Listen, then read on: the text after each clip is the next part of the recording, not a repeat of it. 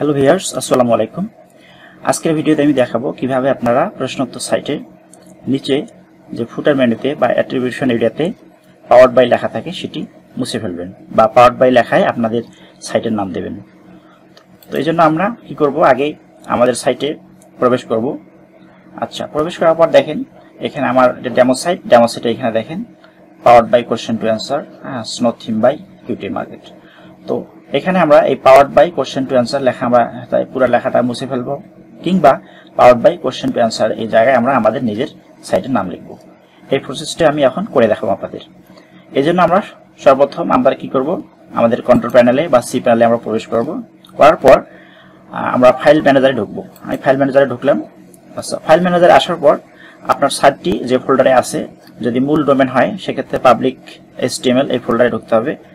তো আমার demo site এটি আমার ডেমো নামক সাবডোমেনে আছে। তো এই জন্য আমি আমি এই ডেমো সাইটে বা ডেমো সাব ফোল্ডারে আমি ঢুকলাম।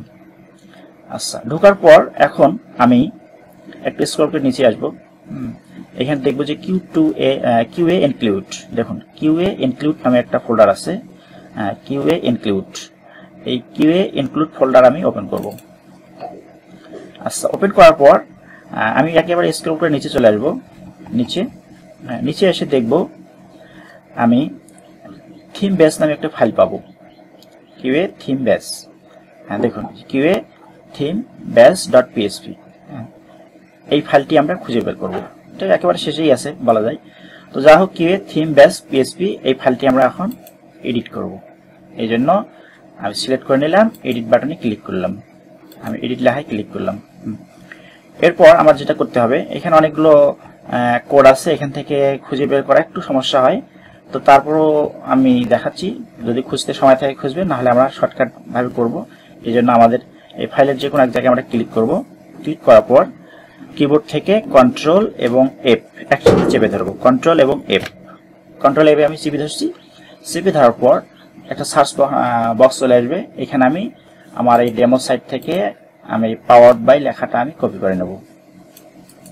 কপি করে নিয়ে আমার এখানে আমি এই সার্চ বক্সে পেস্ট করে দেব। হ্যাঁ দেখুন পেস্ট করে দিয়েছি। কোথায় কোথায় আছে? আমার এখানে স্টারে দেখাচ্ছে ওয়ান টু মানে আমার দুই জায়গায় পাওয়ার বাই লেখাটা আছে। তো আমি এখন এই দুই জায়গা থেকে পাওয়ার বাই লেখাটা রিমুভ করে দেব। তো দেখুন, আমি এখানে দেখাচ্ছে আমার power by question to answer তো এখানে আমি এই কমার সামনের থেকে আমি কমাটা থাকব কমার সামনের থেকে এটা আমি এই কমার পর পর্যন্ত আমি এটা মুছে দেব। হ্যাঁ এটা দিলাম। আর আরেকবার আছে যেহেতু দুই দেখাচ্ছে, দুই জায়গায় আছে, তো আমি এখানে অ্যারোতে ক্লিক করে আমি পরেরটাতে গেলাম। দেখুন পাওয়ার বাই লেখা আছে। তো এক্ষেত্রে আমরা কমার সামনে থেকে কোটেশন মার্ক যেটা আছে, সেটা থেকে একেবারে এই কমা পর্যন্ত আমরা এটাকে ডিলিট করে দেব। আচ্ছা ডিলিট করে দেওয়ার পর আমরা সেভ বাটনে ক্লিক করব। তবে আপনারা যদি ডিলিট করতে না চান, সেক্ষেত্রে আপনারা আপনাদের সাইটের নাম সাইটের লিঙ্ক সেখানে দিয়ে রাখতে পারেন।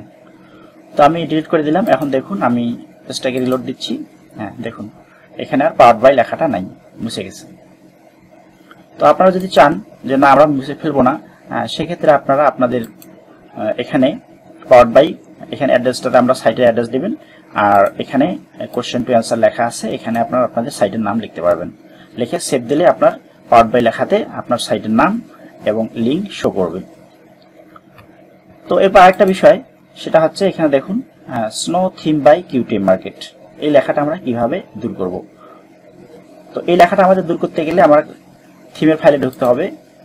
এই জন্য আমি ডোমেনে গেলাম, মূল ফোল্ডারে গেলাম, এরপর আমরা কিউএ থিম এই কিউএ থিম ফোল্ডারে ঢুকবো। এখানে আসার পর আমরা স্নোফ্লাট যেহেতু আমার বর্তমান থিমটি স্নোফ্লাট যে আমি স্নোফ্লাইট থিমের ফাইলে গেলাম। এখানে দেখুন হ্যাঁ কিউএ থিম ডট পিএসপি নামে একটা ফাইল আছে এটা আমরা ওপেন করব। আমি এডিট ওপেন করলাম এডিট করলাম। এডিট অপশনে এসে হ্যাঁ এটা থেকে আমাকে ফাইলটি লেখাটি মুছে ফেলতে হবে। এই জন্য আমি এটা কপি করে নিলাম সোনো থিম বাই কপি করে নিলাম। নেওয়ার পর এটা আমি কন্ট্রোল এফ দিলাম। কন্ট্রোল এফ যে কোনো জায়গায় ক্লিক করবেন। ক্লিক করার পর কন্ট্রোল এফ যাবেন একসাথে। সার্চ বক্স আসবে। এখানে আপনারা এই সোনো থিম বাই লেখাটা আমরা কপি করে পেস্ট করে দিলাম। এই দেখুন, আমরা এখানে শো করতেছে এক জায়গায় আছে ওয়ান অফ ওয়ান মানে এক জায়গায় আছে। এই লেখাটা আমরা এখন এখান থেকে রিমুভ করে দেব। এই জন্য এখান থেকে শুরু করে এই সামনের কোটেশন মার্ক যেটা আছে, সে পর্যন্ত আমরা মুছে ফেলব। মুছে ফেলার পর আমরা এখানে সেভ সেন্স লেখাতে ক্লিক করব। হ্যাঁ আমি সেভ সেন্স সেভ সেন্স করলাম সাকসেস হয়ে গেছে, অর্থাৎ সেভ হয়ে গেছে। এখন আমি পেজটাকে রিলোড দিচ্ছি। হ্যাঁ দেখুন, আমার এখানে কোনো আর লেখা নেই। হ্যাঁ theme by সোনো Q market Q theme market কোনো কিছু এখানে লেখা নেই পাওয়ার বাই লেখা নেই, কোনো কিছু এখানে লেখা নেই। অর্থাৎ এভাবে আপনারা এই কাজটা করতে পারবেন। তো আজকে এই পর্যন্তই, ধন্যবাদ, সবাই ভালো থাকবেন, আল্লাহ হাফিজ।